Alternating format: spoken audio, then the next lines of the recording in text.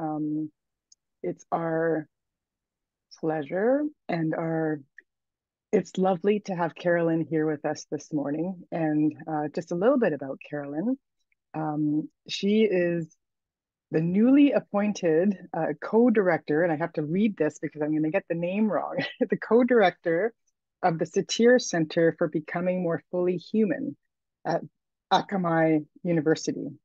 And she's an associate professor with the College of Integrative Health. So, and she's also a senior faculty member of the Banmen Satir China Management Center and also um, living in community on a farm on the island. so um, here's Carolyn. Thank you. Wonderful. Thank you. Thanks, Linda and Jennifer. Thank you so much. Uh, it's great to see even a farm farm member, farmily member here. Thanks, Julian, for coming out. And it's also really cool to see two co-authors of our book that we just held in our hot little hands, just um, Leona Gallant and Jennifer Nagel. Thanks. Oh, great. Yeah. This is this is my first time ever having a chapter published, and I think Leona's as well. And Jennifer is now uh, can totally fully claim author as she has many books under belt now. It's really cool to see. Thanks. And really good to see all these people that I haven't seen in a while. It's beautiful. Thanks. Thanks for coming out. I am really excited about talking uh, and leading us through an experiential process about couples. What we know is that uh, there is a, it's like the last few years have been a crucible. They've just been a squeeze on couples to, and couples have come through it uh, because of because of differences in family, because of differences in opinions, because of differences in how to handle things, and because for a while there we weren't allowed to see many other people. So uh, everything became really a microcosm and and squeezed, and it's um, impacting couples everywhere. So this squeeze can either help a couple grow because they're faced with what's working and what's not working, or it can just uh, be the the the breaking point. And as many therapists on here, you are seeing that in your offices, I'm sure. Um, so today I'd love to take you into using Satir's method to help couples connect into closeness, where we're going to just do a little piece of it and and it will be for your own personal reflection. Okay, so here we are. And let's move on. I want to thank Virginia Satir for your legacy of wisdom and light and invite you down to come on into the room and channel through me if you would like to do that. I am willing and open. I'd like to thank Dr. John Banmen. He has been a mentor and a friend and a colleague and and not has been in the past is all those things uh, and the founder of Satir Institute of the Pacific and I want to thank all the people who have um, are continuing his uh, legacy that he built and really Thanks, guys, for having me here. I am appreciate Dr. Mary Jo Bulbrook. And this is the, it's really cool in North Carolina. The university is not like a big brick place. It's this really welcoming, cool place. I got the privilege, the chance to go out there for nine days and um, be amongst so many of Virginia's things. Uh, so many of her letters. I was presented with her moccasins. I got to walk in her moccasins, and um, they're they've got a little rabbit fur on them, lots of beading, and they are well worn. So that was very cool too. And so here's um, Mary Jo and I uh, at the at that center. Yeah. And I want to thank each of you for showing up. It's uh, really wonderful to know that each part of us that we bring into a loving, open, curious state is impacting the world.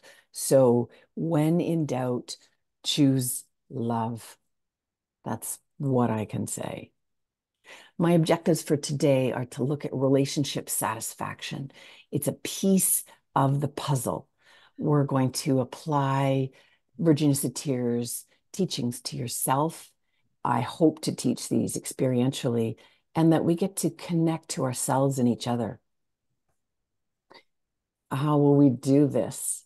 Um, we'll be assessing intimacy issues. I don't mean by that, I don't mean sexuality or sex so much as I mean intimate. What sets a couple apart from a community? What's what do we find in coupledom that we don't find in singledom? What is it? Um, so how do we assess our intimacy issues in a relationship? What is a what what's a way that we can do that? I'm going to use a guided meditation to take you through the satir iceberg on one of these issues. And we'll use breakout rooms to look at the yearnings and other things and have a question and answer period at the end. Oops.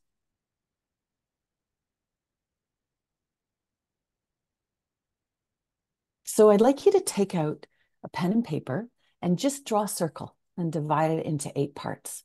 And you can pull out some um, colored pencils too if you want, but um, I'll just give you a chance to do that. Just any old piece of paper or your journal, divide it into eight parts. And let's take a look. Oh, and I'm going to just grab my writing piece.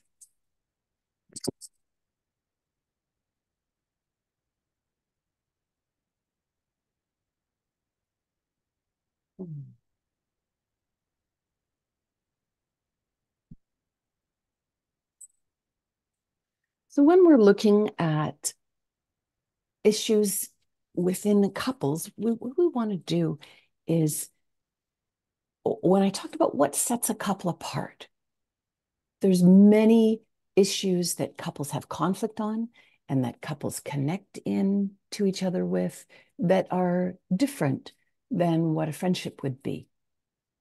So, as we're going through this, I'd like you to think back to either uh, a relationship that you're in or a relationship that you've been in in the past, any relationship, whichever one that is popping up for you right now might be the one to look at. It could be someone even from 20 years ago or 10 years ago. Um, maybe the first one you had in mm, high school or your 20s whenever whenever that is whichever one pops up for you take a look at that one. And now we're going to label each part. These parts are what i would ask a couple to do at the beginning is what are their places where they either have conflict or connection or desire more?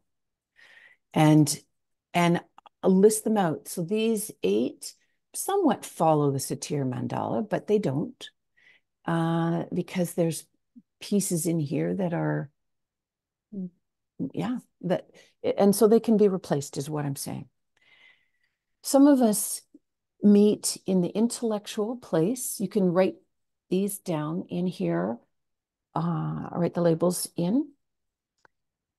When we talk about intellectual ideas, when we're looking at relationship satisfaction, We're talking about discussing things, learning new things, reading and talking. And if you'd like, as I go through them, I'm going to have you color them in like this. You can see how maybe um, I've colored this one in because I'm super satisfied with it. I'm colored this one in here because I'm somewhat satisfied. And I'm coloring this one in just to here because I'm only, I'm so, I'm pretty dissatisfied with it. So we end up coloring them in. So you can color them in as we go along and I describe them. Let's see how that goes. So coloring in the emotional one. Is that something that's important um, for you in a relationship, in this relationship, satisfaction wise. It doesn't mean that you are always discussing. It means you're, eh, or never discussing. It means that you're satisfied with the level of stimulation in your relationship, discussing ideas, learning new things, reading and talking about things. Let's move into the emotional part. Uh, it doesn't mean the satisfaction part doesn't mean that you're always happy. What it means is that you are free to express the full spectrum of positive and what you might see as positive and negative emotions, the full spectrum of emotions. Are you free to express them? Are you satisfied with the amount of freedom of expression? How satisfied are you? and filling that in. Moving into physical. Uh, physical is separate than sexual. Physical is the the touching we do on a day-to-day basis, uh, in indoors, outdoors, um, with other people, um, by ourselves, the touching skin to skin, how the, the touch on the shoulder, the holding hands, the touch on the cheek, the, the, the hugs. How satisfied are you with the, the physical sphere of your, the, the physical part of your uh, couple's relationship.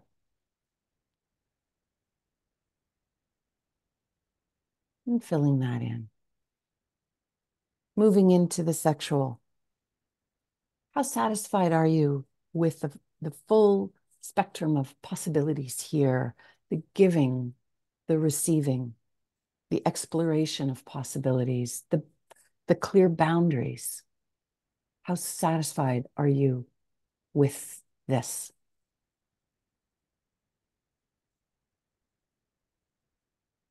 moving into financial. I don't mean, oh, we're at the top. Um, this wouldn't this wouldn't mean, oh, we are super wealthy. Oh, we're not so wealthy. Oh, we're very poor. It's about the satisfaction of um, our discussion and our handling of our finances together. So how satisfied are you with how we talk about it, how we deal with it, how how it's all together there. Uh, financial issues with couples are one of the top things that they come in with. Um, it might not be the top thing that they talk about. We might talk about the who does the dishes, but there is usually a big financial piece in there with couples. Who gets to spend, who gets to say what they spend. Um, spiritual, moving into that. Your exploration as a couple. Is this important to you? The talking, the doing, the being, the transcendence. Are you on the same page? Are, are you free to explore and to practice.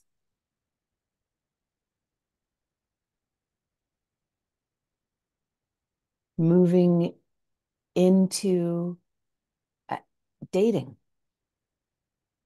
Are you satisfied with your dating relationship?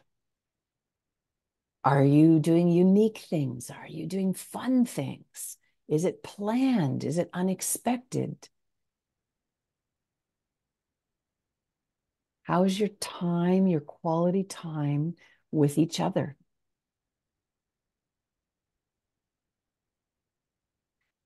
And this last piece can be, um, you can fill it in with a different label if there's something else that comes up for you. Uh, there's so many other things we could put in there. Lots of the love languages that uh, from Gary Chapman we could put in there. Um, I chose time with others as a couple because that's sometimes where couples bond together or fall apart. They can tend to be with others and you wouldn't even know that they were together. Um, one couple had come in and she'd said mm, they were out at a dance at dance lessons and switching partners switching partners and one woman came up and said to her oh i really have my eye on that man and she said that man is my husband and so they'd been going to the dance classes for weeks and nobody even knew they were a couple. So sometimes time with others as a couple others others that's when they really feel that they bond together as they're hosting. They host other people at their own dinner parties and they feel really close doing it. So how satisfied are you or you can put your own label in there? And in the end i imagine that you might have something that looks somewhat like this so all um, some at the top are very satisfying others are uh, mediocre, and some have barely a little dot in them as far as satisfaction goes.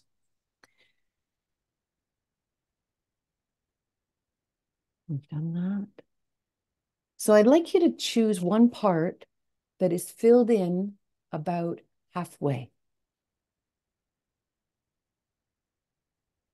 And I'm going to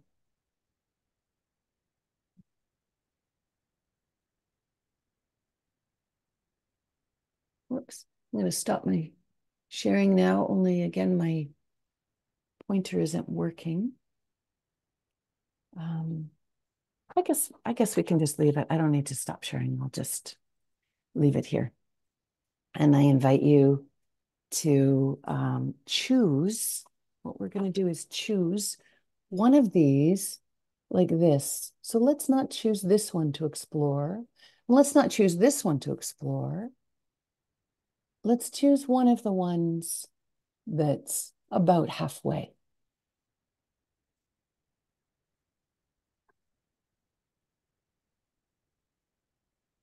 And I invite you just to hold that in your mind. And coming into your center, breathing it in and allowing your body to relax into your chair.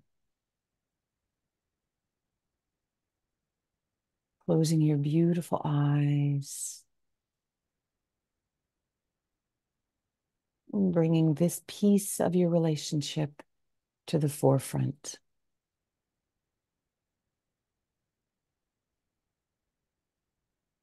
And as you do, what's happening in your body. Just notice. Where are you with that? Our body gives us so many messages.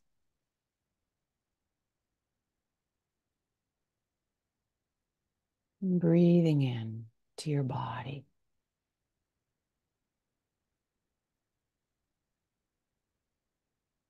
breathing into that place in your body.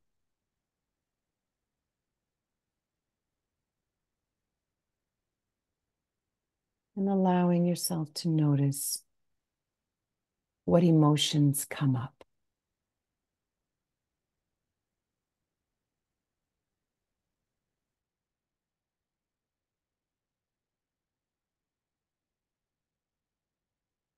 That's the way.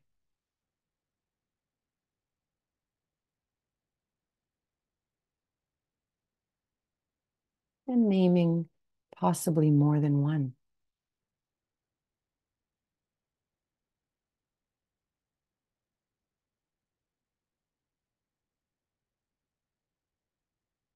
And are there any emotions associated with these emotions? Any feelings about your feelings?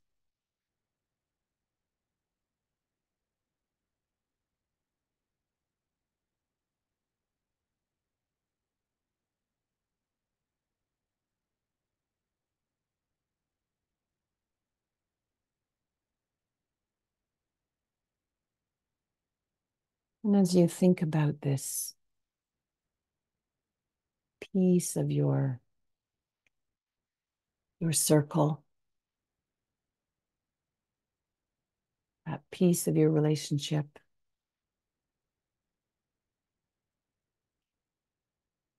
I invite you to bring up the perception that you have of yourself in this piece. I am what? I have what?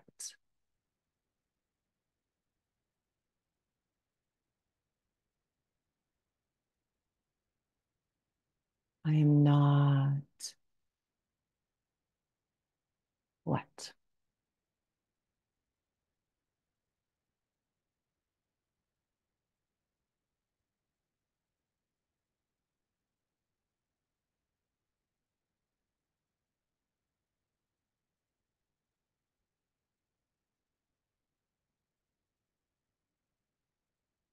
And from my point of view,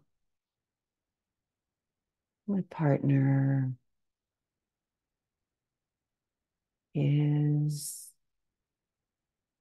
what?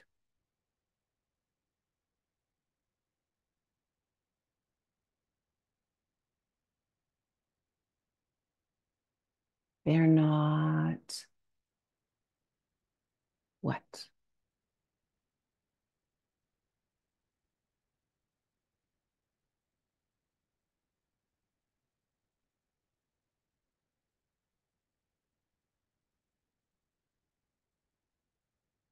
Then can I trust them?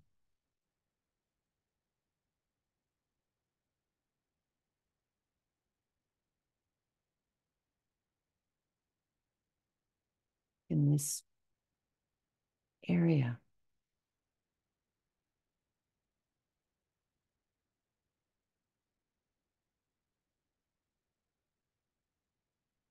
And in this area, am I lovable?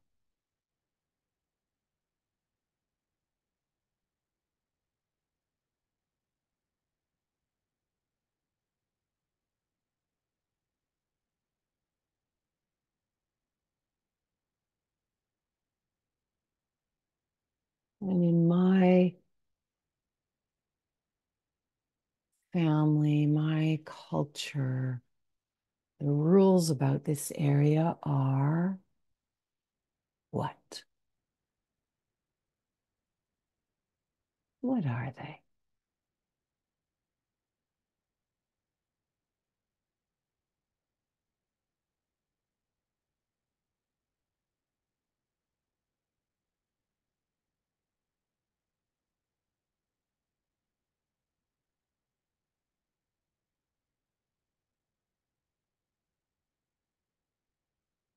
I really should. What?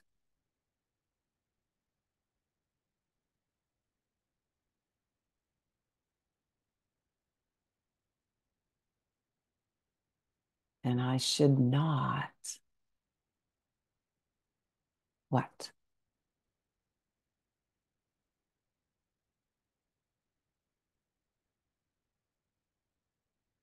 My partner should what?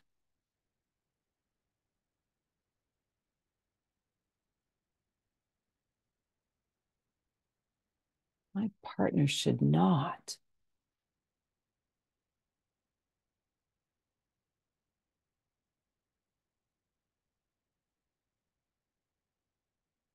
What?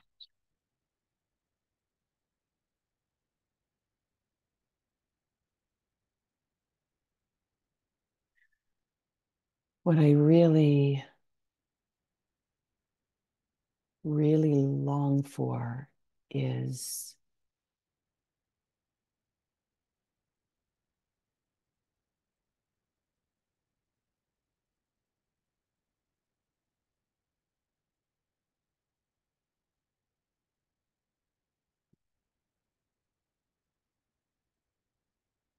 Is it freedom? Is it to be acceptable? Is it to be seen? To be valued? To be cherished? To be honored? What is it?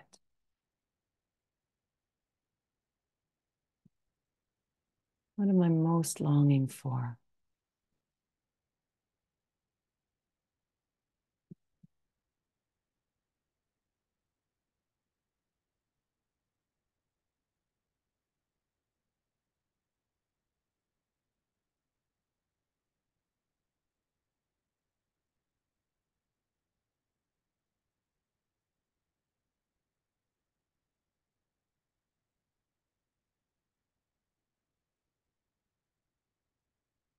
What do I have inside me?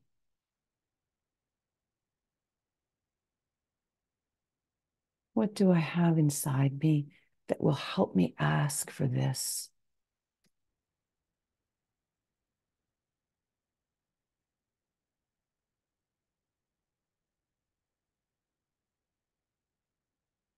What are my resources?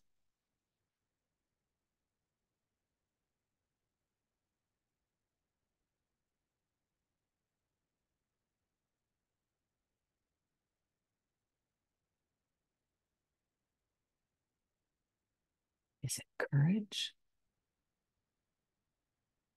Is it kindness?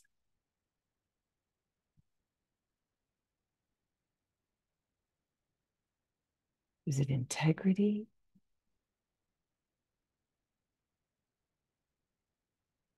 Wisdom?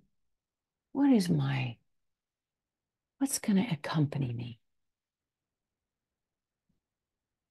as I seek what I know that needs to happen in this relationship?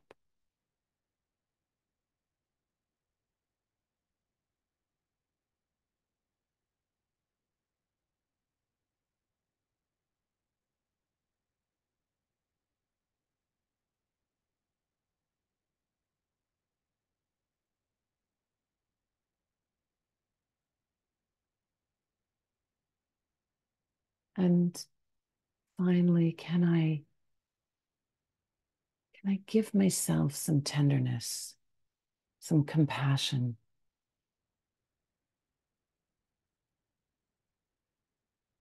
For the ways that I have tried.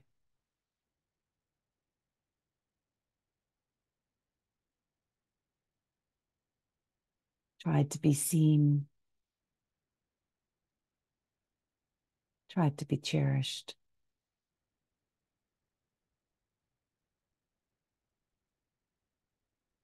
Tried to be valued. And if I can see and cherish and value myself in this moment, right now.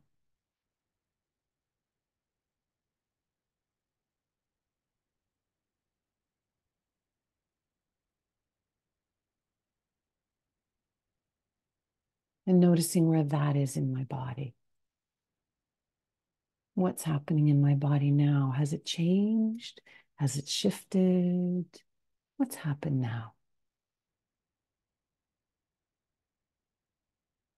What am I noticing? Is it the same?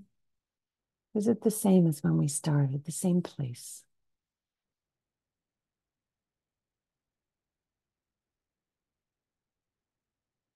And as you open your beautiful eyes and come back to the room, we're going to take a minute, let you write down whatever you'd like to write. And we're going to shift into breakout rooms